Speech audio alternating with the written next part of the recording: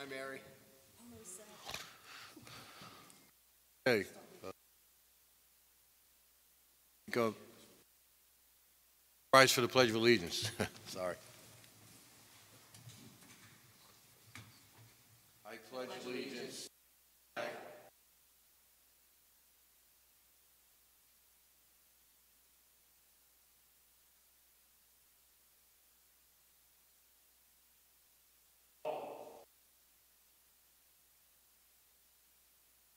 Good evening, everyone, and welcome to the October 17th, 2022 Town Board meeting. I'd like to make a motion to open up the Town Board meeting this evening. Second. Call the question. Bingham, aye. Cardone, aye. All right. So, just so everyone is aware this evening, if you do come up to speak, please speak clearly into the mic. We have a stenographer this evening. State your name and what town you live in.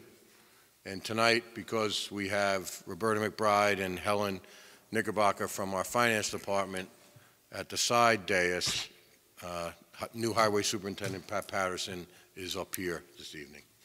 We're going to share a mic. Yes, okay. All right. Okay.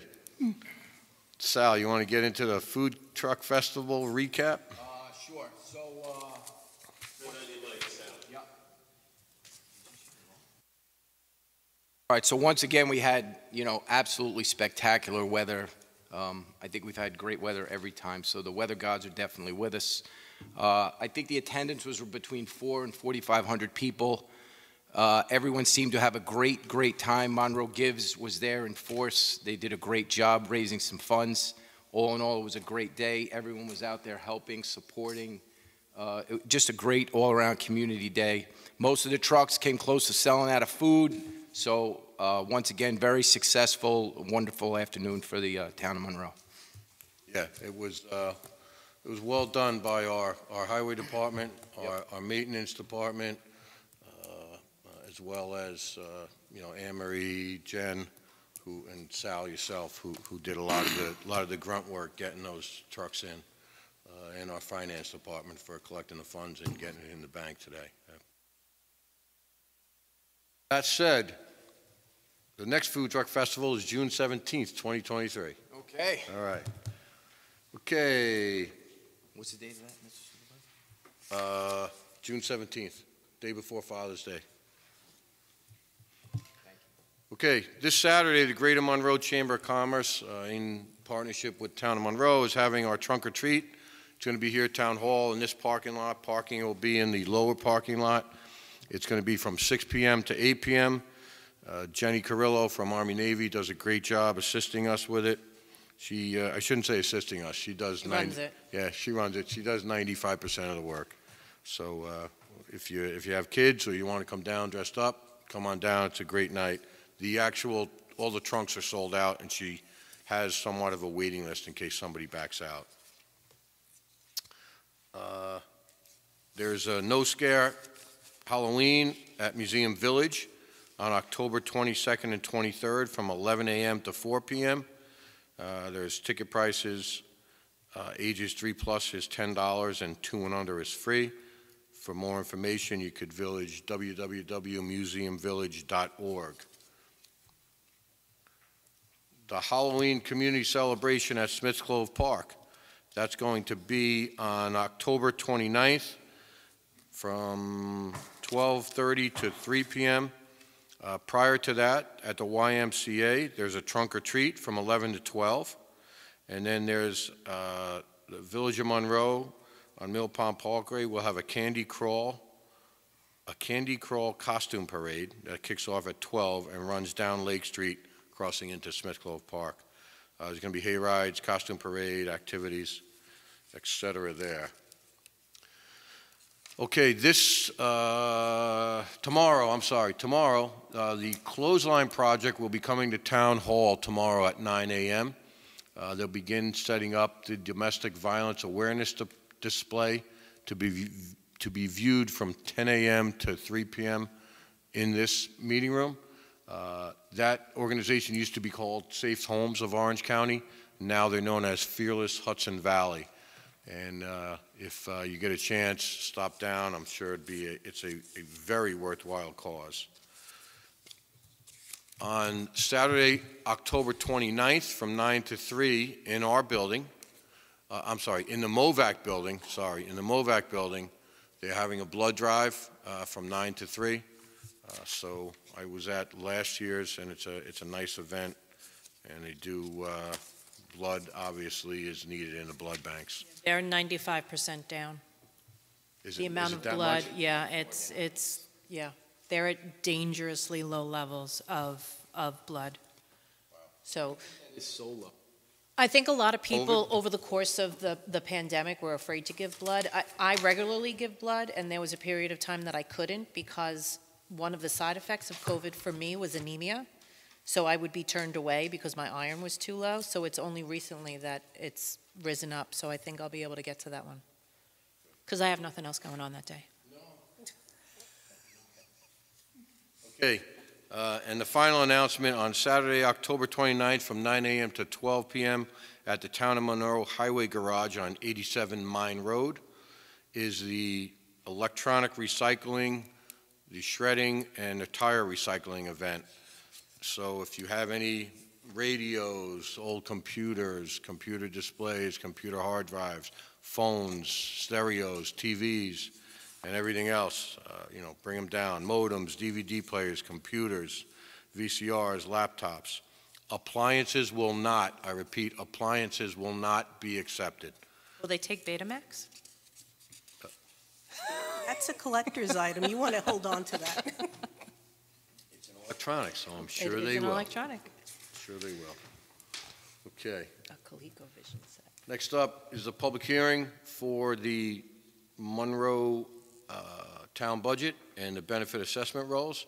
So I will make a motion to open up that hearing. Who will second?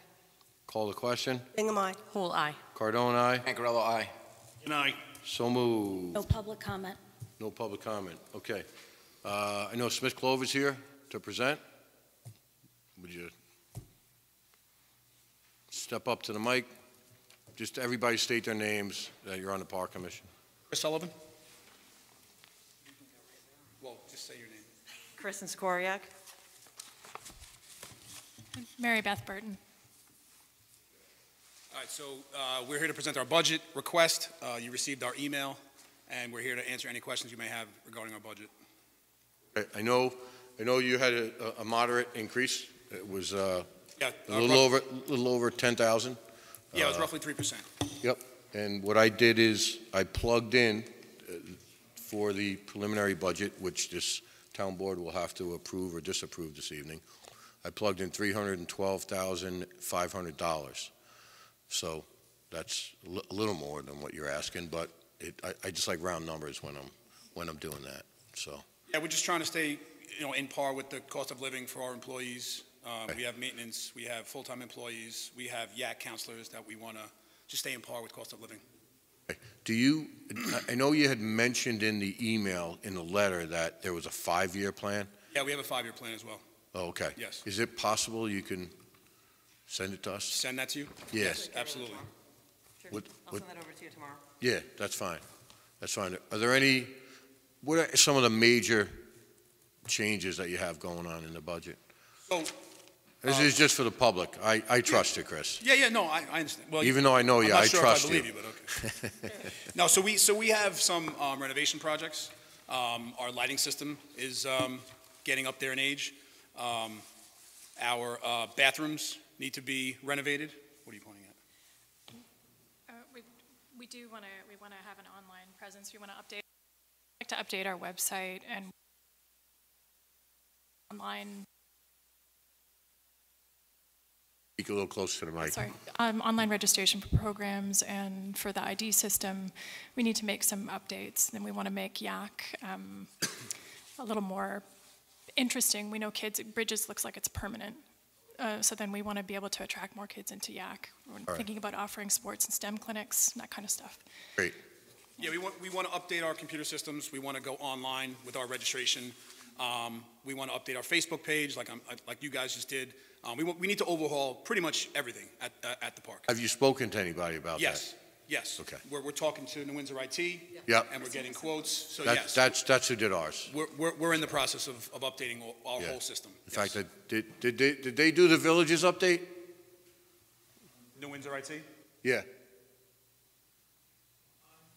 Neil, if Uh, you could just come up to the mic just so that the stenographer can hear anyone commenting, please. Mayor, it's Neil Dwyer, Mayor, Mayor Neil Dwyer. I just asked Bill if. Dwyer, no, if- we had a private company. Okay. All right, thank you.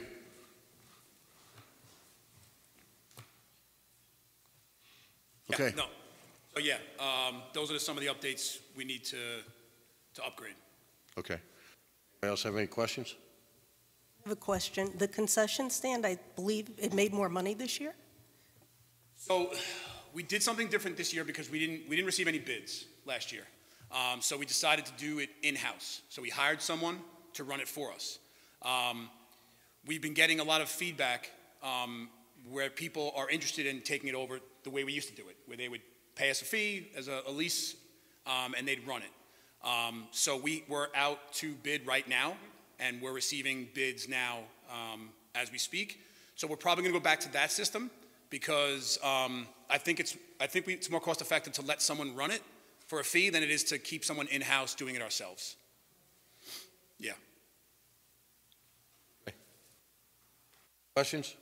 Just, um, it's really not a question, but, you know, we have a, uh, a grant writer that we contract out with, and, uh, maybe some of these projects would fall within, you know, the, the scope of the grant, so I think it's something that we could, um, I'll put you in, I'll put him in touch. yeah, put in with- touch yeah. with them, because maybe we'll find something where Yeah, you like- can work, and there seems to be a lot of state money out there. The reason I said it is just looking at your, looking at the worksheet, and I saw state aid, parks, you know, that type of stuff. They seem to be giving money away up in Albany, so you might as well avail yourself of some of it, and Yeah, we, we, we can help with the, the grant writer, we're more than happy to do so. Yeah, we would 100%, yeah, would like to do that, because it's not just our renovations, we also, we would like to uh, provide some type of shelter for YAC, because right now, we only have our office, which can't hold everybody, so we'd like to build a bubble or a, a facility, something where we can have the kids indoors and not send them home when it's raining. Right, got it.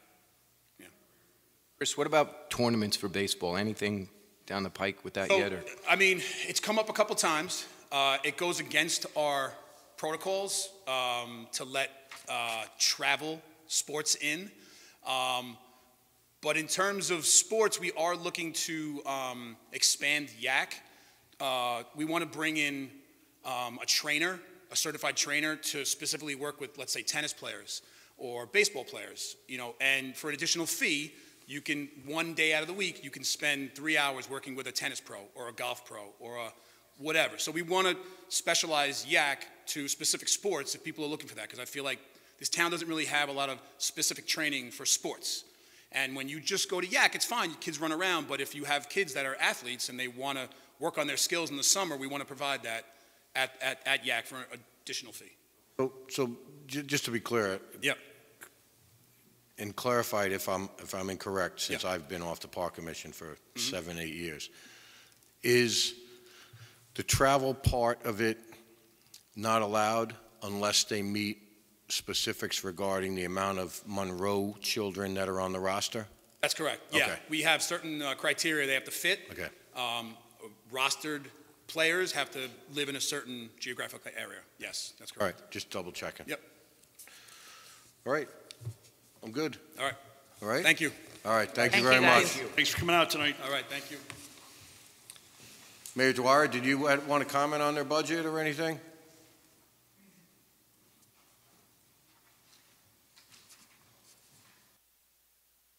Just seeing it uh, today for the first time, um, so we'll gather up some questions for the, uh, the Park Commission, and then we can probably have a better idea of where we're.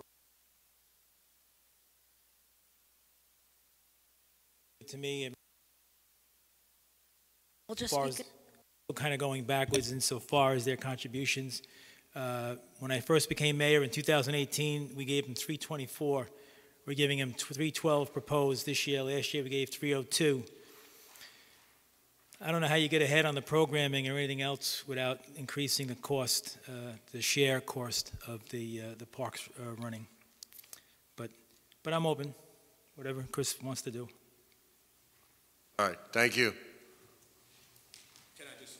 Yeah. I just, I, this wasn't included in, uh, in our, in our proposal to you, but, uh, we just, um, hired a, uh, company to do cameras, uh, in the park, and it's gonna cost us, uh, thirty-four thousand to, I think we're getting about, I think it's eight, eight to twelve cameras. They're all in one system. It's gonna provide Wi-Fi to the whole park, so anyone in the park is gonna get Wi-Fi. Um, and that's gonna come out of our capital project, uh, capital, uh, fund which I think years past, there was some capital money that was, you have cameras Available. there now? Does the We have police no cameras, department? no. The police department doesn't have any cameras there? nope, nope, no. Are We've you never- tying into the police department. We are department? not, no. They, they, so it got to a point where, I mean, this is, this camera issue for us has been going on since I've been on the board for about se- six or seven years. I remember. Yeah, um, and it just, it wasn't feasible to do it as a system. So, um, as a board, we decided, let's just do it. And then if we can tie it in later on, great, but if we keep waiting, it's never gonna get done. So it's going in, the project's gonna start this month. It'll be installed before the winter. So that's one project that we can cross off our five-year plan. Um, and then, and then eventually, if we can tie it into the police, great. And if we can't, at least we have our own internal system. So that's, Did, how many people bid on it? we had three bids. Actually, it might have been four. I'm not, it was three or four, I'm not sure. All right. I wish I would have known about this ahead of time, because that's, our grant writer got us twenty-eight thousand for, for Mombasha. Not, for- I'm sorry, for the senior center. All right. Yeah, next time, just anytime, anytime you do a big project like that, let us know. Okay. Yeah, It's, it's just been one of those projects that's been going on That- for, for years. yeah. And I just wanted to get that one done. all right. All right, sounds good. Thank you for your volunteer work.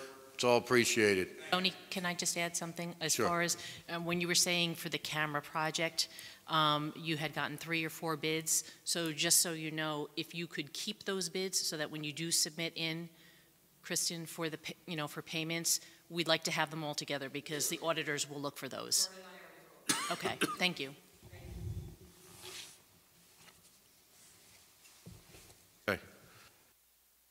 Uh, Budget. So, through a little diligence and effort on, uh, on our finance department's part, we were able to dwindle down, dwindle down, sorry, the uh, exceeded amount, and right, uh, there's some here. If anybody doesn't have a copy of the budget, there's a few up here. I know we have it up here. Everybody up here has it, yeah. So we were able to dwindle down the uh, cap number to just over $76,000 from a little above 900,000. There was tweaking done in some of the revenues, there was tweaking done uh, in some of the expenses, which were cut, and we still have uh, some more to do because there are some other increases that we really haven't included in the budget currently. So right now, we are at a $76,142 over the cap, which amounts to a, currently amounts to a 4.94% to a village home and 1.35 to a town home. Uh, I will tell you that my goal is to balance that as best as we can. So that's where we're at right now. Anybody have any questions? That's pretty impressive that we got it down Yeah, so far that much. yeah, it's, it's the smarts of Helen and Roberta that get it to that point. I Oh, we believe it. know. I believe it. Thank you for the compliment, Mr. McGinn. Did, did- did, uh, anybody have any questions? No? Uh, Counsel, i- is it, is it wise to close the public hearing now? budget itself, if you Yeah. don't anticipate, you can still make changes as a board um, Right. beyond this point up through November 21st. So uh, if- the only reason you would keep it open at this point is for public comment or outside comment. So if you don't anticipate receiving further public comment, you can close the public hearing and then continue to work with the budget as a board. All right, I mean, we have till November 20. 21st is the final day Yeah. to adopt, So um, but you let- have to close the hearing by the November 15th. All right, let's, let's keep it open till November 9th. Let- let- let- Let's do that. I don't think there's any harm in doing that, so. I'll make a motion to keep open the continuation of the public hearing for the 2023 town budget and benefit assessment rolls to November 9th at 7 PM or immediately thereafter. I'll second. Call the question? Bingham, aye. Pool eye. Cardone, aye? Scancarello, aye. Begin I. Okay. Next up, uh, I will make a motion to open the continuation of the public hearing to consider the adoption of local law A-V1 2022 to amend Chapter 57 zoning concerning the heavy industry zone, uh, which are the proposed amendments to the HI zone. Do I have a second? Second. Second by Councilman Scancarello. Call the question. Bingham, aye. Pool eye. Cardone, aye? Scancarello, aye. And I. Okay. No mo- public comment. No public comment? Anything to add? Uh, not, not at this time. All right. I, I I would, uh, I would recommend that we um, keep the public hearing open until the ninth, November 9th meeting. How about we go December, I'm sorry, November 21st? I'll make that, I'll amend that motion to Okay. uh, keep it open until November 21st uh, at 7 PM or shortly thereafter. Okay, I'll second that. Call the question. Bingham, aye. Pool eye. Cardone, aye? Scancarello, aye. And I, Okay.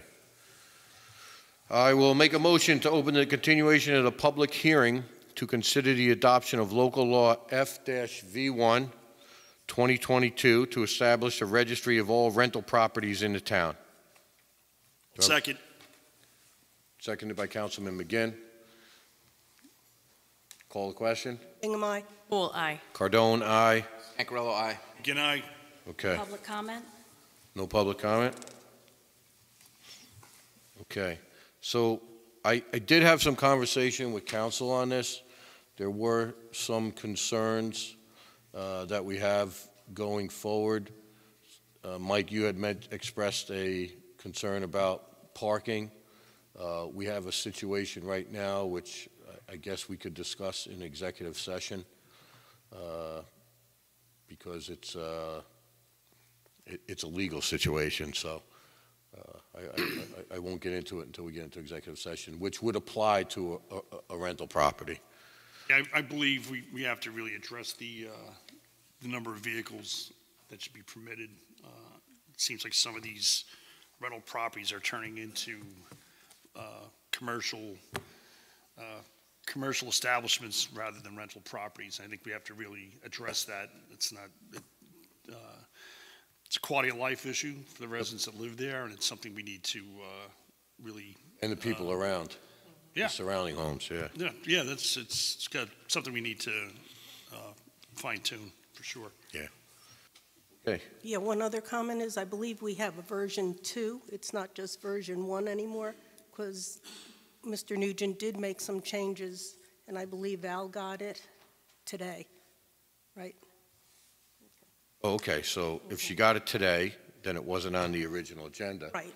But I So- believe there is a so I more will- revised version. I will, I will then make a motion to keep open the continuation of the public hearing to consider the adoption of local law F-V2 to establish a registry of all rental properties in the town, and that would be on November 21st, 2022. Do I have a second? Bingham to second? At 7 PM, sorry, or immediately thereafter. Okay. Next item, uh, Vote, vote. oh, I'm sorry, call the question. Bingham, aye. Pool eye. Cardone, aye. Scancarello, aye. And I, So moved. Motion to keep open the continuation of public hearing for for the proposed Arrow Park Water District. I'll make that motion. second. Call the question. Bingham, aye. Pool eye. Cardone, aye. And I, Okay. No new update. We're still waiting to hear back on the grant application. So there's no new news. No public comment? So I, uh, I'm gonna, I'm gonna say that the best to do with this is, I'm gonna push it back to December 5th, but since we don't have a schedule for next year, I was thinking it would probably be best to go into next year, but we'll put it on December 5th. So I'll make a motion to keep open the continuation of the public hearing for the proposed Arrow Park Water District on December 5th at 7 PM or immediately thereafter. Second. Into second. Take your pick, I think we all seconded. I think we'll, we'll- we'll give that to Ms. Uh, Ms. Bingham. Give it to Mary it. Bingham. She she is the Mary water. Bingham uh, wins that one. She is the water guru, so. Okay, uh, we're not going too fast, right? Okay, so I could speed up then. Okay, uh, call the question? Bingham, aye. Cool, aye. Cardone, aye? Ancarello, aye. Good night. Okay.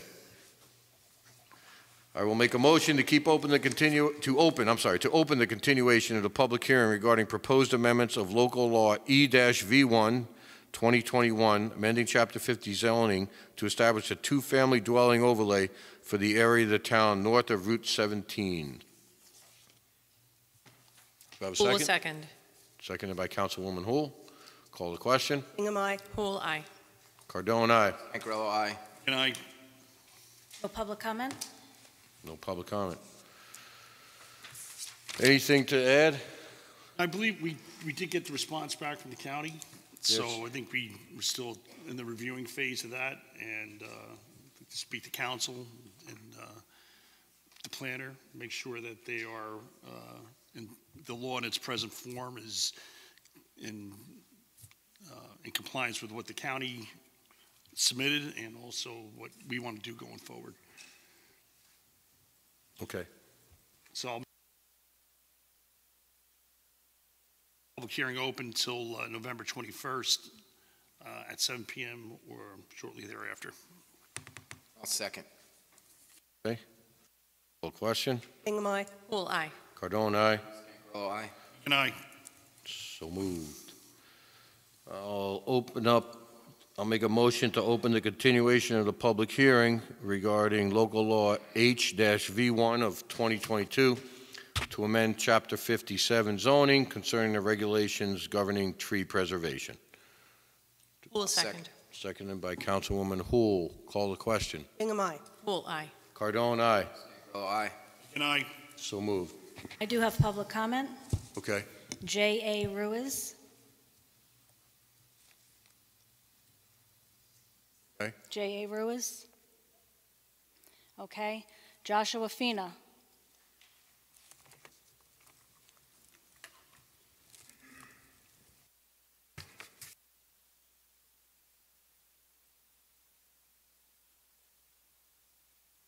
State your name and where you live. That's all right. Oh, my name is Josh Fino. Uh, Do you want the specific address or just the town? Town's fine. Monroe, New York. Okay. Um, May I continue? Yes. Okay. Uh, In that case, I looked at the proposed changes in the introduction.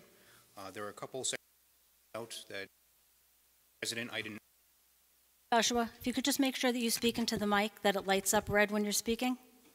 Thank you. okay, sorry. Should I start over? That's fine. Start, yeah, go- go right ahead. Okay, so most importantly, I think section, um, excuse me. I believe it was seven, 5785B1 is the article.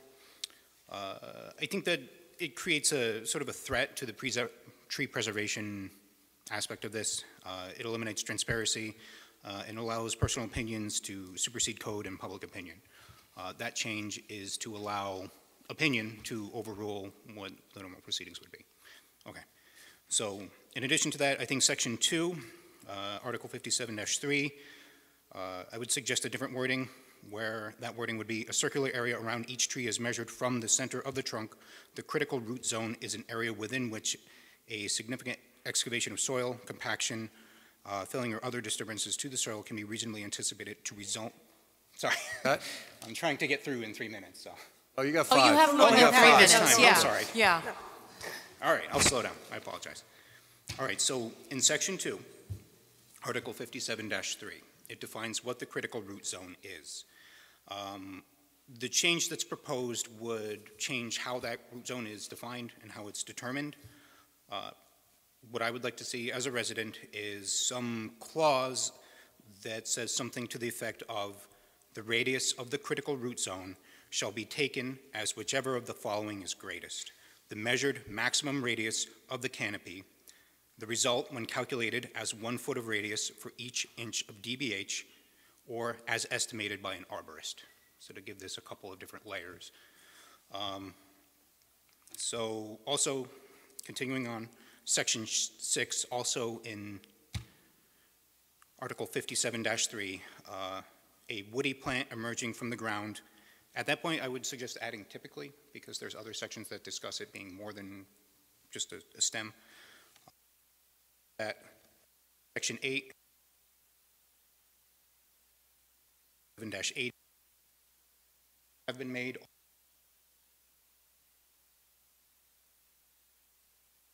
And 5784 calls out some fines in 5784B4. Um, $750 is from 2012. In 2022 money, that's closer to $1,000. So the schedule fees may want to be adjusted as well. 784, 784, possible for abuse.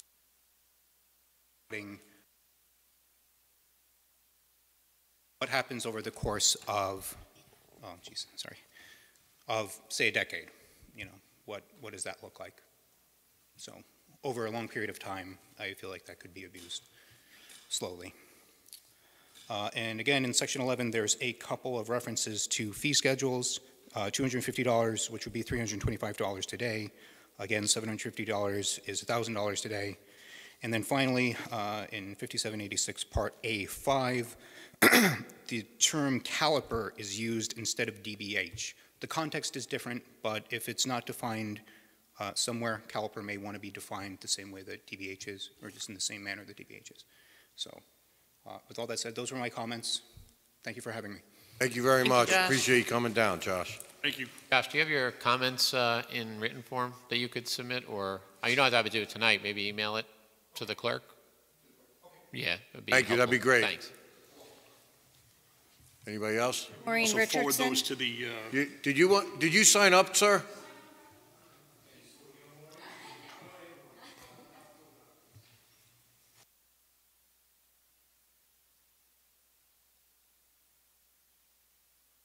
This is working.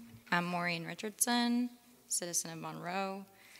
Um, we're continuing Tree Speak. I did not write anything, but I'm just going to talk about some research that some members of Preserve Monroe have been going out and doing that I wanted to just present as a general, and then I'm probably going to submit the more specific uh, over email. So essentially, the town of Monroe is unique to this area because we have actually a written out law for trees rather than to have a law that constructs the ability to have a tree board. And I believe that that is something that we should maintain and grow on even more because a tree board can become very subjective. And I know a lot of people in the town of Monroe are always concerned about politics and ideologies and flipping. So having something that the entire town of Monroe can agree on and look at on a piece of paper that is not subjective, that has the facts, that is backed up by people in the DEC, by arborists, by just people in general of what they define as a heritage tree, of what they want to see the town look like with natural buffer zones, um, which are basically can be put in the law as, you know, the spot around the yard on subdivisions should be left to create a buffer between homes and the street. Um, that there are certain ways of writing this language that have been not exemplified by places like Woodbury and Warwick, even though they do have strong tree preservation tendencies because they've elected or appointed the right people to their boards, um, the tree boards. Um, but more, it's interesting, it's actually in more places that are urban, they feel the need to write these codes um, out and it is not subjective. There are places like Tarrytown and Mount Vernon. Um, New York City even has really strict but um, well-defined, which is what Monroe might need, well-defined uh, construction preservation ordinances of how to care for a tree during construction. Um, and we have a path basically to choose. I think we're at this point where we used to be somewhere in the middle of nowhere. And now, because of COVID and everything else, people are fleeing New York City. But they're fleeing to places that have beautiful old growth trees. They're fleeing to somewhere that they can pretend they are cottage core and live in a fairy tale like Vermont, but we're an hour from New York City. So to have something that lists out all of the specific specimens that the people in the town want to see preserved, want to see rebalanced and protect, a list of heritage trees that have grown past a certain size, past a certain age, that mean something to the public, um, that should be in the law. I think that this touches a lot of people, um, and they don't realize that they can come down here and speak on this issue and have a voice in the way that their town can look for not the next decade, but literally for the next 400 years uh, of the life of that tree.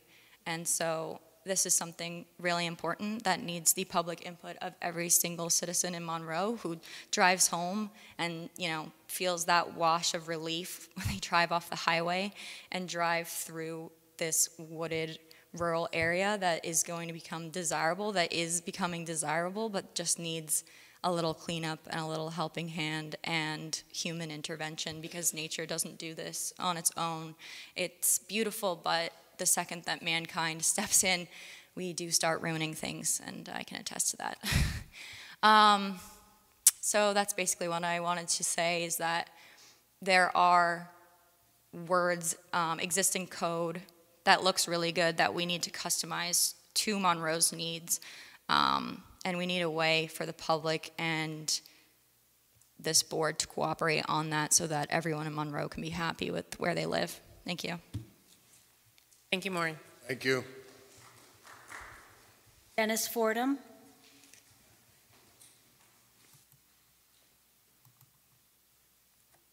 Hello, Dennis Fordham. I'm a member of the uh, Monroe Conservation Commission. Uh, we are in the process of reviewing the revised uh, tree code uh, put together by Max Scher. Uh, tomorrow night we're having a, a meeting to discuss uh, where we stand at the moment. One thing we are trying to do is to identify an arborist or an urban forester to assist us in, uh, assist you in uh, making the revisions or ad adopting the revisions uh, that are appropriate uh, to, our, to our town. Uh, I understand, correct me if I'm wrong, that uh, when we do identify an arborist, we will submit those qualifications to you, and I understand once agreed that the town may be prepared to pay the appropriate fee for that arborist. Just to clarify, we don't normally go back and forth, but I will say I, I did speak to Joe Corona today. I, I, he, yes, and, I wasn't, and, I wasn't we aware did, where we, we stood did on discuss that, that and, yes. and that will be obviously paid by the town of Monroe. Yeah. Okay, so I just wanted to say, and obviously th those comments I've heard tonight, we, we I would imagine we'll all take those into account. Take, the, take all the comments into account that we've heard tonight as well. Yes, yes, we do. Yeah. Once the, once we approve minutes, that Yes. actually goes to our planner, and the planner will take all those into, the, into account. Uh, uh, is, is that Max Scher? Max Stock, I'm sorry. Yeah. Max, yeah, Stock. Stock, yeah, Stock. Yeah. Okay, very good. Thank you. All right, thank you very much. you. Thank you. Thank you. Appreciate it. Love the Brooklyn accent. That's all for public comment. Anybody else? I just wanted. We'll oh. just go back one more time. J.A. Ruiz.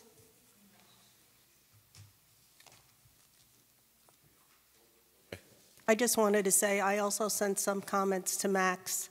Um, Some of them, again, were at the critical root zone, uh, as uh, Josh had mentioned, and I haven't heard back from him. So I'm hoping we'll have that revised version two coming after there's a little bit more input from the, the residents.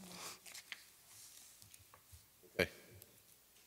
All right, I will make a motion to keep open the continuation of the public hearing regarding local law H-V1 of 2022 to amend Chapter 57 zoning concerning the regulations governing tree preservation for November 21st, 2022 at 7 PM or immediately thereafter. Bingham to second. Call the question. Bingham, aye. Pool, aye. Cardone, aye. Anchorello, aye. Aye. Item 5.1 is the acceptance of the October 3rd, 2022 minutes. Anybody want to make a motion? I'll make that motion. Pool will second. Any changes, alterations, corrections? No? Call the question. Aye. Pool, aye. Cardone, aye. Anchorello, aye. And I, So moved. Next up is the general fund abstract of 22, uh, number, I'm sorry, number 22-16 for $59,071.45. Second. That- And I'm sorry, that contains checks 29-237 through 29-271. Bingham to second. Call the question. Bingham, aye. Pool, aye. Cardone, aye. Anchorello, aye. and I, So moved. Next up is the escrow fund abstract, and that is $22,928.80. Check, checks numbers 2052 through 2054. I'll Bingham make, to second. yeah, I'll make that motion. Bingham, Councilwoman Bingham second. Call the question. Bingham, aye. Pool, aye. Cardone, aye. Anchorello, aye. and I, Girls, there is no further financial aspect on the agenda. You are welcome to leave.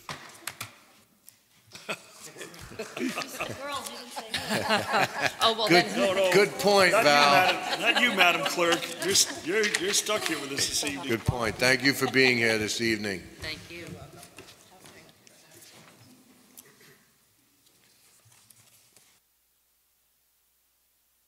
Bye, Mary Beth. Hi, Mary Beth.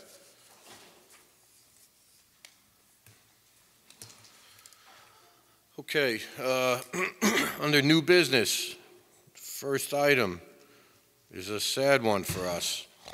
Uh, We received a letter from Ward Brower uh, giving us notice of his retirement, not resignation, retirement from the uh, Conservation Commission. So I, I, I will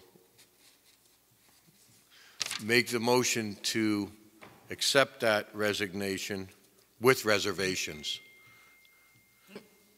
With regret, who will second? Yeah. Who will second? Call the question. Bingham, aye. Pool, aye. Cardone, aye. Cancarello, aye. And I, And in true Ward Brower fashion, it was, It's it was a written handwritten. letter, not a typed one. Thank you, Ward, for your service. Uh, We'd like you to come to the November 9th meeting, okay? I know you- you'd probably be here anyway, but I just want to make, I just want to make sure you're here November 9th, okay? All right. Uh, So I, I had a request from the Conservation Commission that the town board, and I will make this motion, to appoint, uh, for the town board, to appoint Frederick E. Schupfer to the Conservation Advisory Council, Slot 4, term to expire 12/31/2023. Bingham to second. Any discussion? Call, call the question. Bingham, aye. Pool, aye. Cardone, aye. Cancarello, aye. and I. Okay. Now, that- that's not, that's not Ward Spot, of course, right? Yeah. It is.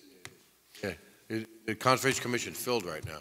Ward, I'm sure this, this, this gentleman is, is a, a good man and a good fit, but he's not going to fill your shoes. So, you know, um, And he is definitely not the same private citizen you no, are. no, no, not even close, I'm sure. Not even close. No. But he does have an impressive pedigree. Yes, so- he does. Yeah. Yep. doesn't have that historical uh, He doesn't. knowledge that the He doesn't. ward possesses this town, so. Historical and hysterical, it's both. We've seen both sides of it here, of course. Right. Uh, Next item is the Mombasha Park security cameras. Uh, They have been completed. Uh, There's just a couple of items on the punch list. Our park director, Emery Morris, explained that to us, uh, to me this uh, afternoon. So hopefully those will be taken care of. Uh, The bid was awarded to Excel, who also did the cameras in Town Hall here. And uh, after a couple minor, minor adjustments, everything will be uh, complete, so. Item 7.4 uh, is the 2023 interbu- intermunicipal agreement for dial-a-bus services with the town of Woodbury. Uh, There was a a little bit more than a 3% increase in that, and the contract is for $7,400 this year. So we need a motion for supervisor to sign that. I'll make a motion for the supervisor to sign the, res- uh, the dial-a-bus service for the town of Woodbury for $7,400. Second. Just add uh, with approval of, uh, Yes, Final With the form. approval with our very knowledgeable attorney, Mr. Nugent. Wow. Wow. Okay. Wow. Just like I told you to say. all right. Uh, Call the question? Bingham, aye. Cool aye. Cardone, aye. Ankarello, aye. McGinn, aye. So moved. Confused with Tillum, you know. The other thing is, uh, I'll- I I will discuss this, and then somebody will have to make the motion, but this should also be done in final form. I'll let council describe the issues surrounding it right now. So we have an intermunicipal agreement with the town of Woodbury for dog control services. We've had it for the past five years, uh, and we need to enter into an agreement going forward for the 2023 year. Council, would you like to just explain the, the, the one part, yeah, with the enforcement? So the, the only issue is one of enforcement, which really isn't addressed in the IMA, but dog control officers come from state law, from the agriculture and markets law. That's where the designation comes from and the regulations. So under that law, the person who issues appearance tickets is your appointed dog control officer. That law also says that town may enter into an agreement with another municipality to provide the dog control services, which is what Monroe has done with Woodbury. But there seems to be a question uh, from Woodbury and on our side as to who would issue the appearance ticket. Legally, Woodbury's dog control officer could issue appearance tickets in the town of Monroe because of the IMA, but it, either they don't want to or we're not sure they want to be involved. They had suggested um, one of the employees of the town issue the appearance ticket, but that employee is not a peace officer or police officer that would be authorized to issue appearance tickets. So the issue is we either need to identify someone in the town that is a peace officer, such as the code enforcement officer that could issue appearance tickets, or see if the town of Woodbury will issue the appearance tickets via their dog control officer. They would still come to the town of Monroe Court, but it would just be issued by the dog control officer from Woodbury. So that's the issue that just enforcement needs to be addressed.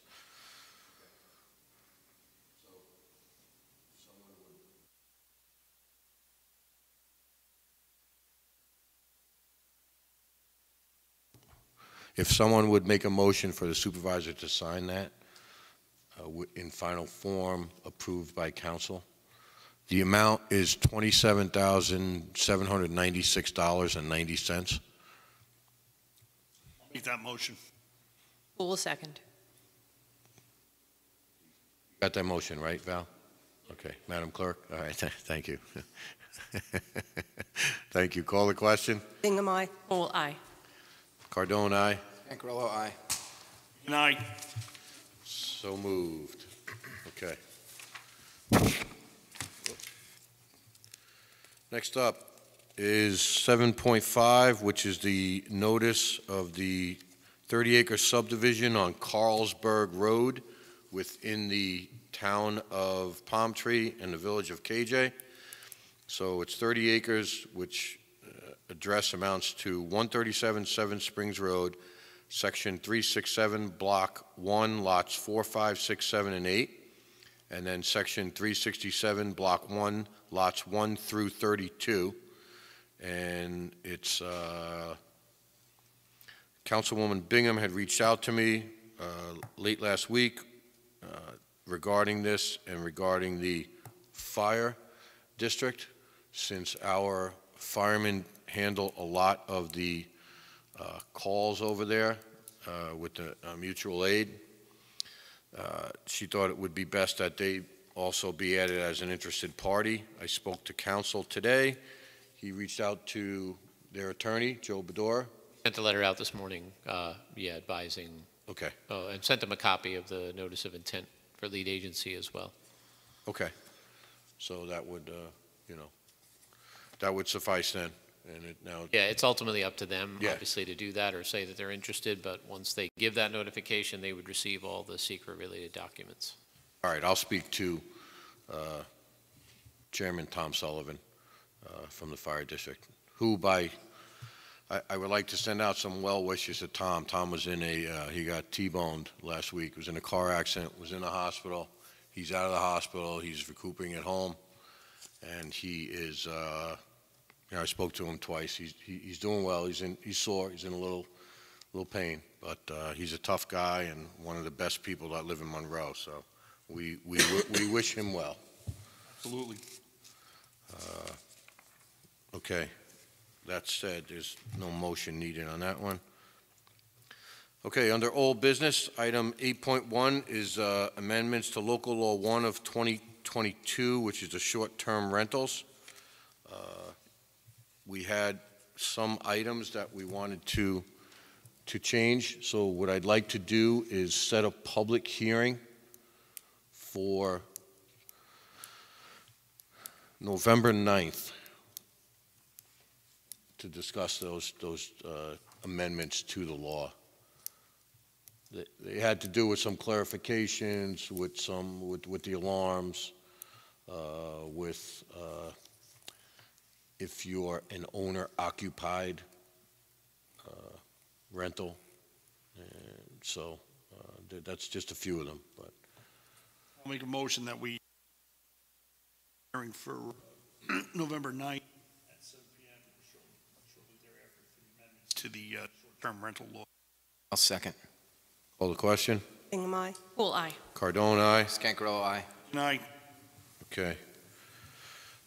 I just want to add this to the agenda, uh, uh, item 8.2. Did, did you want to bring up the DG Realty uh, situation right now? Do you want to discuss that, council, please? Yeah, I mean, we, and that's the potential transfer of property to the town that would include an access road. Um, However, there are matters of escrow, transfer documents, um, performance bonds that we're waiting for responses from the attorney for the current owner to provide to the town. Uh, Documents that we'll need to review, and obviously there may be conditions and other things that the town board may want to impose, so um, that's what we're waiting on right now. Any- Anybody have any questions? No? Okay. Public comment? No public comment. No public comment? Okay. General public comment. General. Come on up, Carol. You don't have to sign in. She'll sign you in.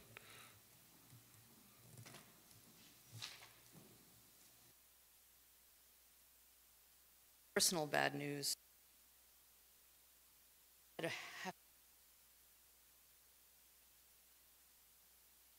All right. um, State, state your name. and where you- Sorry, Carol Hawkshurst, Monroe, New York. Um, So I know that the water pump, we're, we're looking, it needs improvement. Um, And I'm wondering, I know you're working on that, right, Mary? Talking about Yeah. Water District 1, just Yes, to Water District clarify. One, yes, yep, yep, so that's being worked on. And I'm wondering, um, because I'm assuming that the Rye Hill Preserve proposed development is also Water District One, I mean, from what I've read. Uh, How is that going to be impacted if we're already having issues with the water pump already? We're not, we're not going back and forth, just, you- we'll No comment, answers? we'll No. comment after. Okay, okay. Um, I also saw, it was stated in, in the town email today, um, there was a disruption in the water service, uh, Rye Hill and High Ridge. I'm wondering if that had anything to do with this, this water pump, uh, or, or what, why there was a disruption. Um, Another question that I have is, is it typical, and it may be, that the town planner would be reviewing a developer's proposal to give input on that they're following the, the guidelines of what would be appropriate for the development. Uh, You know, I, I'd like to know that. Um, And then also, just following up from the last meeting, the distance from where the proposed development is to where the watershed or Mombasha, really where the watershed starts. What's the distance? Just would like to know. I mean, you know, we would want a certain amount of distance away from the watershed. Um, I know that was, that's the concern there. Um, And then just my last question, I, I think this is, this is my frustration. Um, You know, I want to work together with the town board, with, with all of you.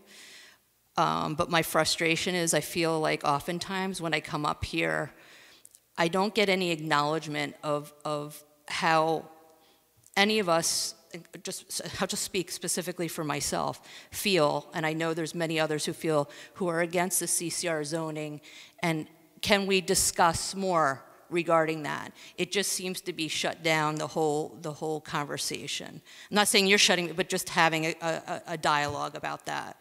Because it, it leads to medium to high-density housing, um, and I don't know how as the town board, you can't see the roadways and municipal services cannot handle this type of zoning. I just, I don't see how that could even happen, especially with what was first pr- proposed. I don't know what's coming down the pike. Um, very curious, and it's stressful to even consider what's happening. Um, and Ward, I, I specifically want to say thank you for all that um, you've done for our community, um, and I highly respect you. And I know you as well are very much against this uh, CCR zoning, but I do thank you uh, for all the time and efforts you put in. Thank you. Thank you. Thank you. Anyone else?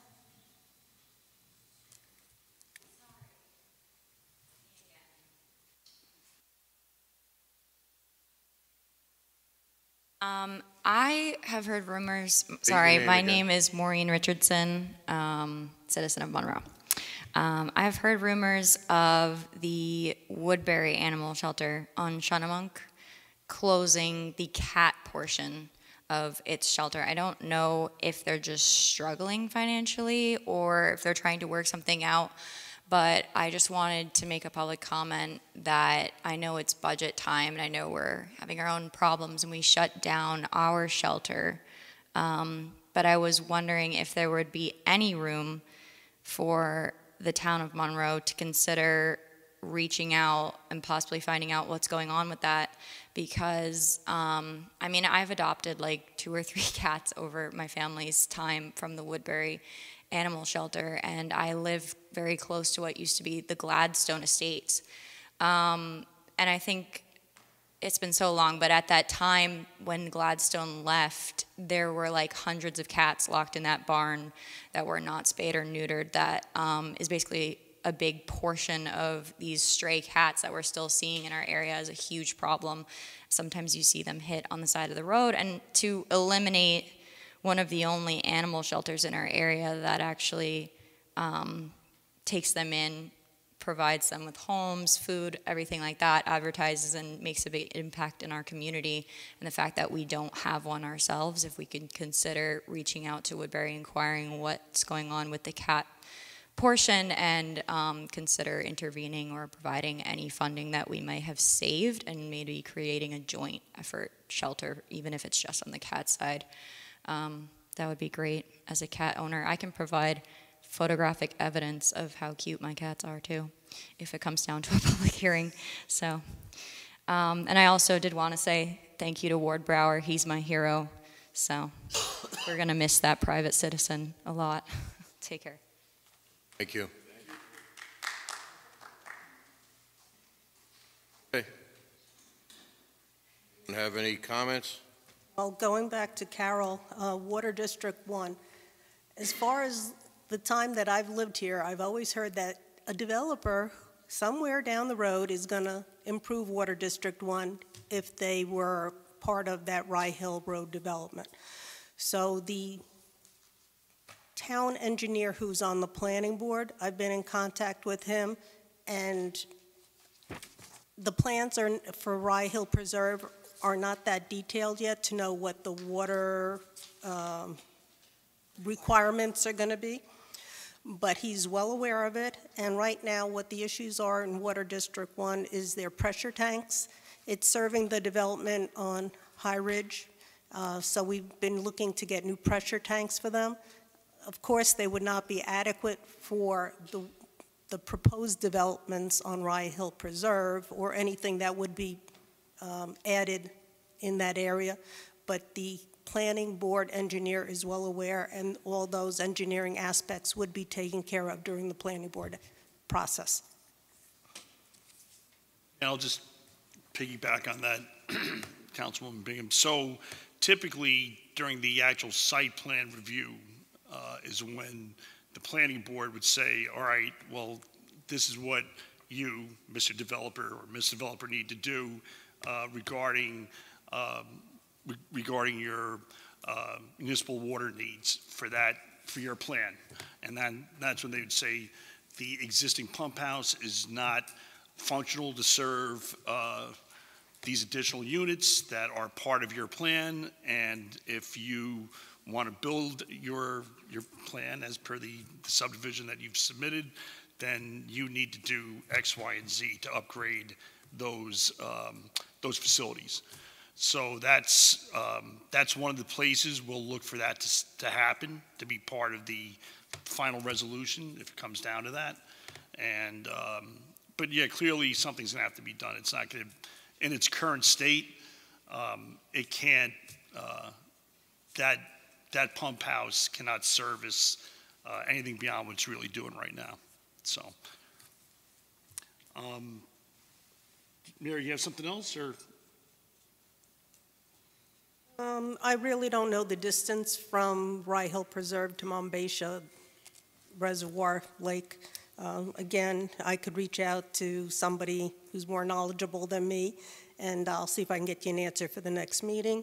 Um, And is the town planner reviewing? Um, I don't know, Mr. McGinn, have you heard if Max is looking into making sure that all the aspects of the CCR are also being complied with that? I didn't have any contact with Max, so I don't know the answer. I have not spoke to Max in the last week, but when, Okay. when we forwarded their latest revised plan, he was uh, doing his due diligence and going through it. And um, when he has done what he feels to be uh, his job and, and what the, uh, the compliance with the local law goes versus the revised plan that was submitted, then we'll, uh, he'll come back to us and we'll take it from there.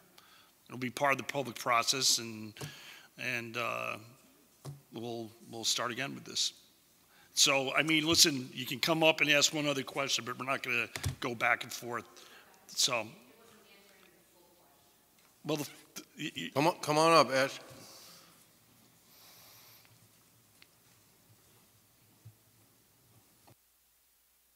I just wondered, is that standard, is that typical with the developer? Would me, would be sharing the plans with the um, planner? well, it's, Developers? it's, it's typical for us to say, hey, you've sent this to us, we're going to give it to our planner, who's the It is expert, typical. to review it. Yeah. Well, I, I mean, I don't know, I, I can't say what other towns do or villages do or don't do, but that's what we decided to do with this as an extra level of of reassurance that what is being submitted by the developer is con- in compliance with the CCR as is written. The com- planning board, wouldn't, wouldn't they be able to do that? When it goes to the planning board, we'll, I'll, I'll answer. Okay, okay. yeah. When it goes to the planning board, it will be after, it will be just like the process specifies. It will be after that comes to us. We've spoke to the planner. The planner has told us that yes, it does, or no, it doesn't, or wherever that stands, and then we'll, we'll act accordingly on it. Finally, I would also like to say thank you to Ward.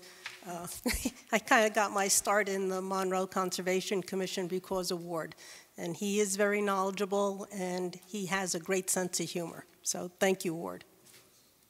And I will address the cat shelter thing that Maureen brought up. So I'm in regular communication with Kate Luciani, who's a councilwoman on the town of Woodbury. Um, I've actually texted her to find out if the rumors are true that they're closing down the cat portion. I haven't heard back yet, but, uh, you know, before the next meeting, or even if I do hear back prior to the next meeting, can I email your Preserve Monroe email? Okay, so I'll let you know as soon as I hear something back. I texted Supervisor Burke and, Oh, did and, and Pam as well. So we're, we're, we're reaching out to two members.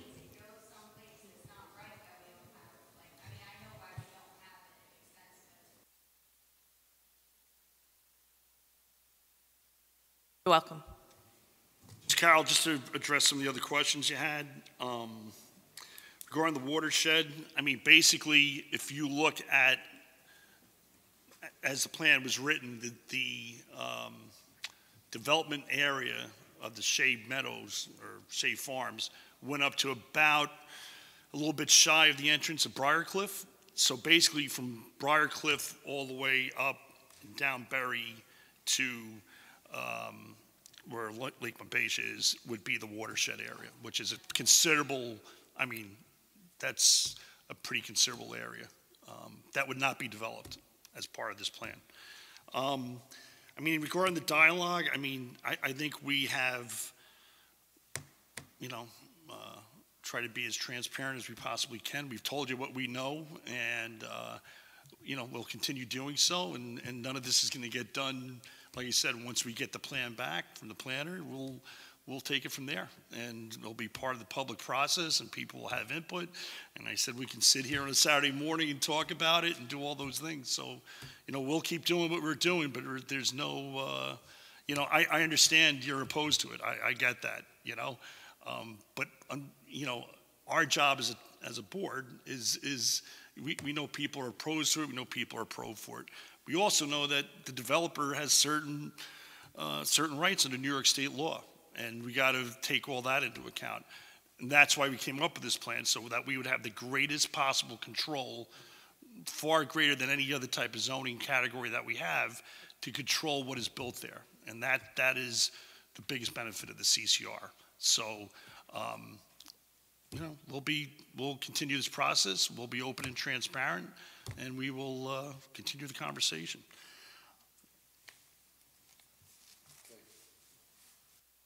Anybody else? Pat, you just want to give a quick update on the pickleball court? So sorry to say the pickleball court has come to a halt with, uh, with the leaves coming down. We have to get ready for winter. We, it could be as early as Halloween, uh, snow or before. So I, we have the, the first round in the ground of item four, um, and it'll probably be better for that to set over the winter, and we'll get right back on it in the spring and get pickleball back going. Thank you. I, I, I know part of your reasoning was you would rather have the stone settle and compact more over the winter, so. Yes, Uh, that, that size, it, it- it's a, it's a really large area, and we have to treat that just like a road where we have to put down a certain amount of different surfaces in there before we can blacktop, otherwise, within a couple of years, it'll crack and break, so we want it to set up, and we think it'll be great to set all winter. That's a, I think that's a good idea, Mr. Superintendent. I don't know of many uh, outdoor winter pickleball leagues, so I think uh, it's very prudent to wait until the spring and have that settled, so good, uh, good call. I was watching it on TV today. So, so Maureen, we've heard back from uh, Woodbury, and uh, those are rumors. The cat, the cat shelter is not closing down. Okay. And that's confirm- confirmed by Kate Luciani Mhm. and Supervisor and- Burke. So, And, and I appreciate having the information clarified. I, we appreciate the question. I'll make a motion to go into executive session to discuss uh, legal. second. Call the question. Bingham, aye. Bull, aye. Cardone, aye. Good night. So moved.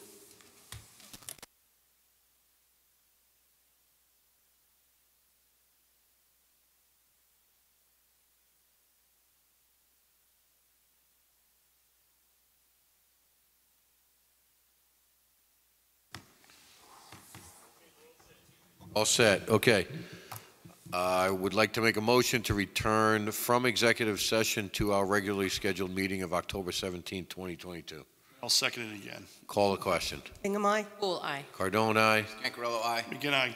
Okay, no decisions were made in executive session that required a motion, but I would like to acknowledge the retirement of Councilwoman Bingham. Uh, She is free to do whatever she wants every day. So- Right, get up late. Thank you. Not, not retirement from the board. You do What's look that? very Said well Not rested retirement today. from the town board. No, no, not from the town board. No, From- no, from from her her full-time My- my job. Yeah, from a full-time job. Yeah, my day job. So, that said, I will make a motion to adjourn. I will second. Call the question. Bingham, aye. Bull, aye. Cardone, aye. Scancarello, aye. Again, aye. So moved.